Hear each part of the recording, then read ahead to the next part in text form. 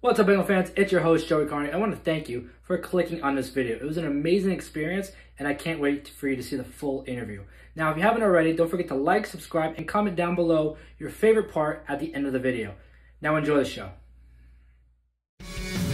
Ladies and gentlemen, The Angle proudly presents the world's most talked about pro wrestling sensation.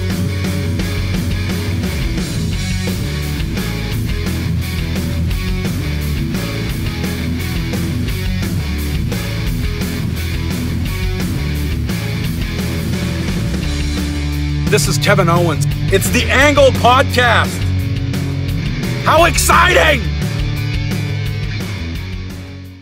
What's up, Angle fans, and welcome to the Angles WWE Backlash post show, where we'll be discussing everything that happened at WWE Backlash heading into Monday Night Raw. I'm your host, Joey Karni, and if you haven't already, please like and subscribe down below to stay up to date with all the Angles activity right here on YouTube. While witnessing the greatest wrestling match ever, there were still other matches on the card that were pretty amazing in itself. One of those was Jeff Hardy versus the Celtic Warrior Sheamus, in which Sheamus collected the win. This match was exactly what I predicted it to be. Brutal, aggressive, hard-hitting, and well, with a Sheamus victory. Jeff Hardy did his best to try to prevail over the Celtic Warrior, but unfortunately after a few Brogue Kicks, the 1-2-3 got Jeff Hardy caught up. I do have to say there were some spots in that match that I was afraid for Jeff Hardy's well-being. It was a scary, uh, overall, an entertaining match, I have to say. One of the best on the card. Jeff Hardy versus Sheamus. Sheamus getting the victory.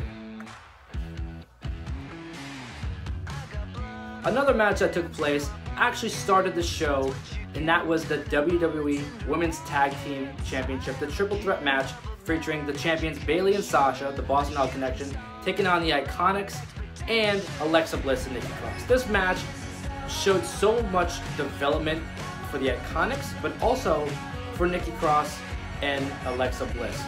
Ultimately, the Sasha, uh, Sasha Banks and uh, Bayley retained their titles, uh, but this one was really entertaining. It was great to see such development of the Iconics, like I said, but it was also great to see some new moves by uh, Alexa and Nikki Cross.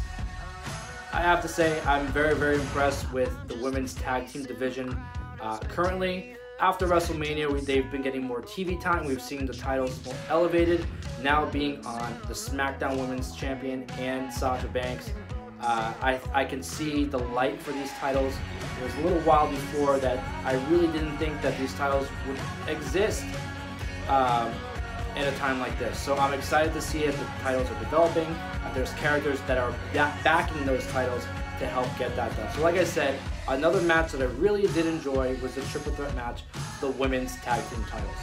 Now if we're going to talk about some of the best matches on the card, there is no doubt in my mind that we can leave out the WWE Championship match featuring the WWE Champion Drew McIntyre getting the retaining title win over Bobby Lashley. Now we saw MVP at ringside with Bobby Lashley. We thought maybe there would be some sort of inter- uh, involvement. Very, very little, uh, close to none. But at the end of the night, it was Lana who made her way down to the ring and ultimately cost Bobby Lashley his first shot at the WWE title in over 13 years since his first run with the WWE. This match was hard hitting. This match was back and forth. It's not often that we see Drew McIntyre manhandle. It started off the match with a full Nelson, almost making Drew pass out. We didn't think that it would be, uh, this match would come into fruition uh, at the beginning of the match because Bobby Lashley took him out before the bell rang. It was an incredible, incredible, incredible match. Very predictable uh, finish though. We did realize early on that Lana would probably interfere after the backstage segment with MVP but that was the most predictable part of the match. Um, I did predict that Bobby Lash, uh, that Drew McIntyre would retain the title, uh, but it was an entertaining match. Uh, besides that, I'm really, really happy with with the way WWE is booking Drew McIntyre, especially holding the WWE title. We said on the pre-show that uh, this is a new wave for WWE. This is a new direction. We see Apollo Crews holding a title. We see Drew McIntyre leading the Raw brand holding its main title, the WWE title. This is a great, great way to represent the brand, uh, but also to further the WWE's uh, success. I think Drew McIntyre as WWE Champion is one of the best decisions WWE has made in the last couple of years. And it is only a matter of time before we see him in a bigger, bigger feud heading into SummerSlam. So like I said, another match on this card with the WWE Championship match. Drew McIntyre retaining his title over Bobby Lashley. Now, tonight on Monday Night Raw, we don't necessarily know what's going to happen. There are some speculating rumors all on social media. Uh, they're saying maybe Rusev shows up tonight. Who knows? He can be involved with Bobby Lashley and Lana. There's a lot of rumors circulating, uh, circulating right now on social media about what we're going to see on Raw tonight. I don't really care what the rumors say. If any of them are true, I'd be happy, especially being having a new direction for Monday Night Raw. Paul Heyman being fired, Bruce Prichard being put in charge of both Monday Night Raw and Friday Night SmackDown Creative. We will see if this is uh, a great decision going forward. Honestly, SmackDown Creative has been better to, in, in, my eyes. Raw hasn't been that great. We saw some with the Street Profits and the Viking Raiders at last night's Backlash. I was completely devastated. I did not understand what was happening. We saw the combination of the two teams, the Viking Profits. Akira Tozawa drove on a on a motorcycle. There was ninjas. There was uh, turkey legs being thrown. There was some Dragon Ball Z references. I wasn't sure what was happening to me, the first few minutes of it was entertaining. I was expecting to see a title match that was advertised on the card hours before the show started, so I was kind of disappointed in that. But uh, this was the, the segment of the night that I just I couldn't believe uh, was happening, especially on a WWE. I was, like I said, completely devastated. I did not enjoy this. It went on way too long. And if you look back on the last five weeks, we've seen a lot of these similar storylines with the Street Profits and the Viking Raiders. The Viking Raiders are not being booked as a strong competitive force that they should be. The Street Profits are not being booked as the serious, uh, great in-ring talent that they should be. Although they are entertaining, they have they, they love to have fun with the crowd. Uh, I think we need to dial it back a little bit, let them get in the ring, put on some shows, and let them be, uh, let them represent the, the, the Raw tag team division well. Because right now, I don't think that WWE is allowing to do let them do that. I do have to say, besides the greatest wrestling match ever between Randy Orton and Edge, I was looking forward to the Raw Women's title match between the champion Asuka and the challenger Nia Jax. This match we spoke heavily about on the Backlash pre-show. I spoke with Lopaki from the Botch Finish about this, and we spoke for quite some time about how this match can take place, things that can happen, such as a Kairi Sane interference or uh, Nia Jax uh, possibly injuring Asuka. Um, but this match ultimately failed. Um, I, I, think from what we saw at Backlash, we will see the continuation of this storyline possibly at Extreme Rules. Maybe the inclusion of Charlotte Flair, as we saw last week, uh, now attempting to go after the Raw Women's title. But I do not like Asuka's first title defense as the Raw Women's Champion, especially after what happened with Becky Lynch being given the title, winning the Money in the Bank ladder match uh, a lot of people say that Asuka was handed the title, but in reality, she won the Money in the Bank ladder match. She earned a, ch- a chance at the title with the circumstances regarding Becky Lynch. This was the only possible solution to give Asuka that title. She was not handed anything. She earned that title. She cashed in her Money in the Bank, so to say. This, as her first defense, I was expecting uh, a clean win over Nia Jax. Uh, even if there was interference, I expected there to be a clean uh, winner. I did not expect a double count out uh, for Asuka's first defense as the Raw Women's Champion. It's just not strong booking, um, at least uh, compared to what we've seen in the past. Now, I think the biggest problem with Asuka's character is that we expect to see uh, who she was from NXT, and that was the strongest uh, pushed uh, female character in the last decade.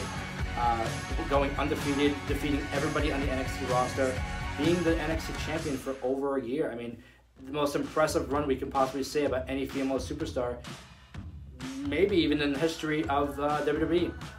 But uh, I think it's the biggest problem with is that we have such high expectations that we expect to see some sort of NXT or some some similar run to what she had at NXT. Uh, I don't think that's what we're seeing right now, especially like I said, her first title defense, getting a double count out win. Uh, this is not the way I wanted to see Asuka retain the title. I think she needed to either tap out uh, Nia Jax or have Nia pass out and look strong going into the next feud. But I think, like I said earlier, I think we will see Asuka and Nia Jax continue, possibly on Monday Night Raw, uh, which I believe we're going to see tonight. We'll see a match between the two, uh, and maybe even see another match at uh, WWE Extreme Rules. Now, overall, I was very, very pleased with the entire night. I was pleased with WWE Backlash. Like I said in the pre-show, a lot of these matches I was not expecting. There was not one match on the card that I can say I was not interested in. From the pre-show with Apollo Crews uh, retaining his United States Championship over Andrade, I was pleased all the way through. Uh, to the end of the night, and that's what we're going to talk about right now. The greatest wrestling match in history, Randy Orton defeating Edge uh, in a surprise win. I did not predict Randy Orton to win. I predicted an Edge win. A lot of people suggested that Randy Orton would get the win in this match, as he did. We saw a lot of, lot of uh, different uh, pieces of WWE history represented in this match. We saw the night, the, the first uh, part of that, which was the introduction uh, being done by uh, the late great Howard Finkel. Uh, the MSG mic dropping down, his voice playing, which I believe is from uh, a WWE 2K video game. Uh, we saw the inclusion of different unique camera angles, enhanced audio. They really went all out to make this the greatest wrestling match ever as they booked. Um, but I wasn't really a fan of the sound effects because we kind of know what the crowd sounds like at the moment, uh, with everything happening with COVID-19, we know that the sound is not you know, that loud. So it was kind of, it was a little off for me to see like very minimal people in the crowd and uh, so hearing these loud cheers and boos and this is awesome and all the other chants we heard. Another part that someone uh, pointed out was that commentary was being done yet when they showed commentary on camera, Samoa Joe's mouth was not moving when he was actually talking uh, on the audio. This match was taped, it was edited, uh, the, the commentary was edited also, so that's probably why you saw, uh, or you heard Samoa Joe talking, and while he was on camera, his mouth was not moving. Um, there were some little hiccups here and there, uh, but overall the, the match was fantastic. We saw Randy Orton hit a pedigree on Edge. Uh, we saw Edge hit a rock bottom on Randy Orton. We saw some uh, Macho Man and Ric Flair uh, moments when they were chopping each other laying down. It was it was a lot of lot of different things that the uh, Ultimate Wrestling fan would really understand and uh, uh, realize. But this was exactly what we expected it to be. In my eyes, it was not the greatest wrestling match of all time, um, but it was pretty damn close. Uh, but I can say it was the greatest wrestling match of the COVID-19 uh, era, and also probably the greatest wrestling match of 2020. Now, I am not here alone to discuss this match. There was someone who wanted to uh, call in and talk about this match a little bit, and that is WWE legend, the coach. Jonathan Coachman is here with me right now. He's going to talk a little bit about what he thought about the Randy Orton Edge match, a little bit about Edge's uh, history with him, and also he's going to plug the angle. So, ladies and gentlemen, I pl please welcome the coach, Jonathan Coachman. Ladies and gentlemen, it's a coach from the WWE. Now, I'm always looking for different podcasts, different smart people, different angles on different subjects. And I got to tell you, I found this latest podcast called the Angle Podcast. So it's kind of two birds with one stone. And anytime something can even remotely have Kurt Angle's name in it, I'm all about it. Now, if you're talking about an Angle podcast, you also have to go to uh, the different uh, matches that have been going on lately across the wrestling spectrum, and everybody's talking about uh, Edge and Randy Orton and the fact that they have the greatest wrestling match of all time. And the return of Edge is where I've been focused. I used to travel with this man. Uh, I've got a great deal of respect for Edge and the fact that he went through what he went through physically to be able to come back in the shape that he's in and have these kind of matches at 46 years old is incredible. It really, really is. You can hear about these and other uh, storylines on the Angle podcast uh, with Joey. Check it out. Help him build his platform because more and more we're going away from the big networks and there's a lot of smart people that are doing a lot of good, smart work. So check it out. Let me know what you think. Tell them the coach sent you. See you. There you have it, ladies and gentlemen. Jonathan Coachman giving his two cents on Randy Orton Edge. Phenomenal, phenomenal uh, pay-per-view overall, like I said. I want to thank the coach for giving his input and making that short cameo appearance. Um, I would like to see him involved more down the line, uh, but only time will tell. Uh, I want to thank everybody for tuning into this WWE Backlash post show, the Angles WWE Backlash post show. We're gonna get ready for Monday Night Raw. I know Randy Orton is opening up the show. There are some rumors circulating that Christian may be making his uh, return tonight to kind of get involved with Randy Orton. Uh, there is rumors that Edge has suffered an injury at last night's uh, WWE Backlash pay-per-view. Uh, there are reports of a torn tricep, which can take up to eight months uh, with surgery to repair. I mean, this is uh, if this is true, uh, it's a devastating moment for the WWE, especially having Edge back finally after nine years, his first singles uh, singles match, being back. Uh, but there is so much to look forward to tonight uh, on Monday Night Raw. I know a lot of fans complain about it, but I'm ultimately excited. I'm, I'm, I'm excited to be a pro wrestling fan. I'm excited to watch Monday Night Raw, and I'm excited really to uh, start the road to WWE Extreme Rules. Uh, we will also be doing a, pre- uh, a pre-show for that. I believe it's uh, July 19th, uh, WWE Extreme Rules. But I want to thank everybody for tuning in to the WWE Backlash post show. Let's get ready for Monday Night Raw. Uh, grab your popcorn, grab something to drink. I'm gonna have a cup of coffee so I stay up the whole night 11 o'clock. I know we're gonna have uh, one of the matches tonight. Drew McIntyre teaming with the 24/7 champion R-Truth to take on Bobby Lashley and MVP. I'm sure that will be an entertaining match because anything with MVP or anything with R-Truth is ridiculously entertaining. I want to thank everybody for tuning in. For now, I'm your host Joey Karni, and this has been the Angles WWE Backlash Post Show. Enjoy running at Raw.